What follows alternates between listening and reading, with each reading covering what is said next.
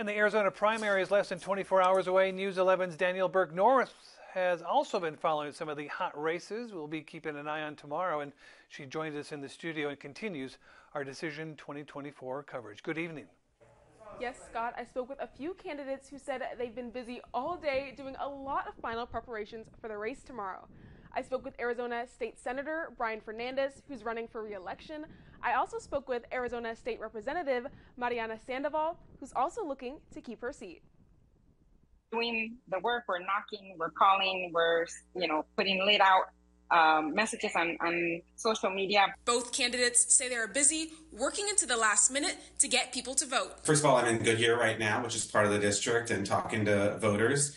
Uh, we've been making calls. Uh, we've sent some mailers and certainly uh, online, really working with our partners. Senator Fernandez is running against Democratic candidate Jesus Arnolfo Lugo Jr. in the primary. Fernandez shares how he's been contributing to the community over the past three years. I brought plenty of money to AWC, uh, to Chavez Boulevard, uh, Highway 95, uh, going up to YPG, and working with um, you know legislators to ensure that our schools are, are as funded as, as well as we can. Um, and I'm going to want to continue to do that. Representative Sandoval is running against candidates James Holmes and Matias Rosales. She shares how she says her background legislator and school board experience has prepared her. And then in addition to that, I worked at the Attorney General's office for 12 years. So I just, I see my legislative work as an extension of that uh, as a public servant.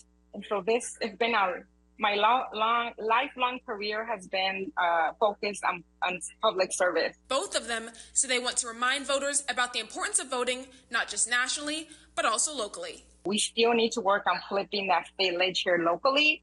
So it's important that people get out and they vote uh, so that candidates that represent their values are elected and we can move Arizona forward together. A few locals share why they are voting. Well, there's lots of different issues. Uh, number one, uh, we're since we're a border town, I think we're very concerned about the border. Uh, concerned about the economy.